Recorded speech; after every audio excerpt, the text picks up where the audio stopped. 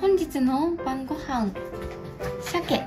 うん、うん、普通にうまそう。ね。醤油かけたいけど。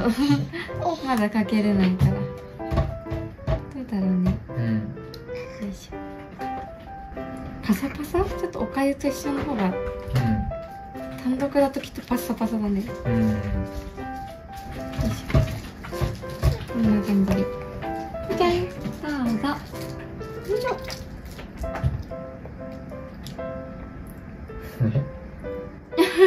どっち？お意外と食べられる。食べられる。味は多分好きだよね。お魚好きそうだから。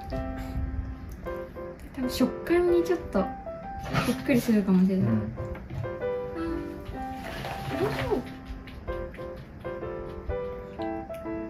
大事？微笑みを向けてきた。お気にお気に入りって。え美味しいよね。なんかだんだんさうん。もう見て美味しそうって思うようになってきたもん離乳食を。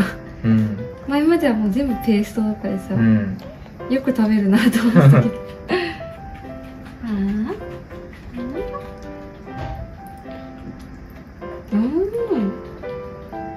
これは余裕ですねっと多め、うめってなるかも パサパサで。食えるかな？まさかの。まさかの。ああ貴重な鮭がポケットインした。ちょっと。はいなかったことに。じゃん。手出さんでよ。うん。もう構えてるもん 握る気満々もぐもぐいける？うん。もぐいけるよ。もぐなんで静止した？そうそうそうそう。ちょっと食べづらそうだね。珍しそうんやっぱりおかゆのとろみパワーがないと。飲み込めない？歯がないかもな。おじいちゃんやからこれは人参とさつまいもと玉ねぎのだし煮うーん。結構ねなんか具だくさんっていうか。うん。てか大きいのもこのさつまいもとか結構さこれ大きすぎるかもしんない。ちゃんと 切ろう。でも人参もさもう結構形を残してる。うん。みじん切りうん。よりちょっともう大きいくらいかな。うんちょっとトライしてみようと思います。そう。うんよいしょ